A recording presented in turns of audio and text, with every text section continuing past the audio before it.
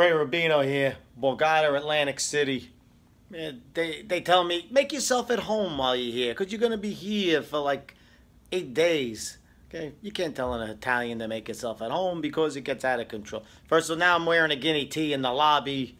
I'm walking around in the morning, scratching myself, you know, with an espresso.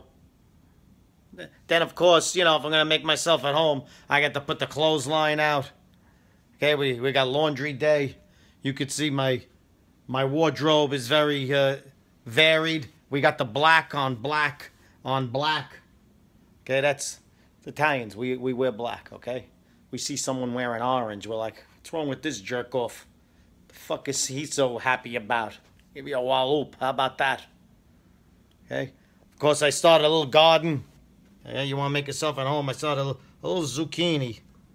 Okay, maybe maybe by the end of the week, maybe I have a little zucchini. You, you don't know, okay?